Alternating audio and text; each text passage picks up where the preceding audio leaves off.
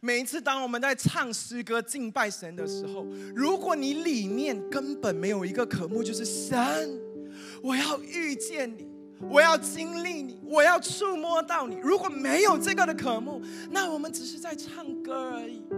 我们所相信的不是一个宗教，它不是只能够给我们很好的道德，给我们很多的智慧去怎么样管理人生。我们所相信的是一个又真又活的神，是复活的耶稣，是有位格的。如果今天我们信主到一个地步，我们认为。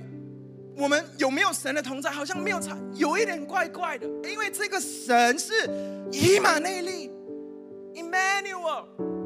每一次当我们闭上眼、举起手、全心的渴慕他的时候，他说：“我们亲近他，他就必亲近我们。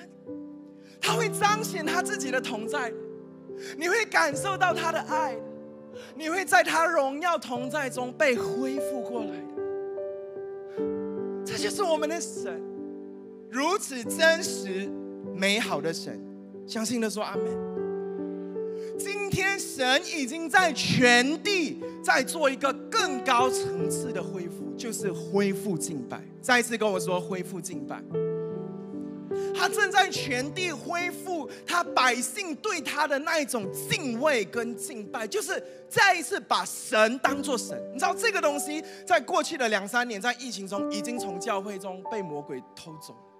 或许在我们的教会，很多人回到当中，我们也有很好的讲员，我们有很好的牧者，我们甚至可以邀请很多外地、外国的讲员来。但是，是否今晚我可以鼓励弟兄姐妹，让我们不要满足在这里？今天晚上，让我们是否可以全教会跟神有一个的呼求，就是神恢复我们对你的敬拜，恢复我们对你的渴慕。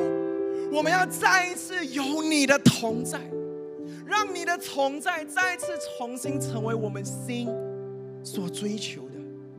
让我们每一次在闭上眼来敬拜的时候，我们就是对你说：“神，我们要遇见你，因为你的同在是何等的宝贵。”阿门。有多少人你相信，当我们恢复这样子的渴慕的时候，神必定会向我们彰显他自己？